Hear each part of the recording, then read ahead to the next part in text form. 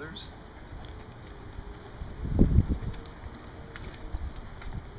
I think I had the most unique honor. Um, I got to have Kathy as um, family, as my mother-in-law, um, as my friend. She helped me with my advising when I came to Elmhurst College a couple years ago.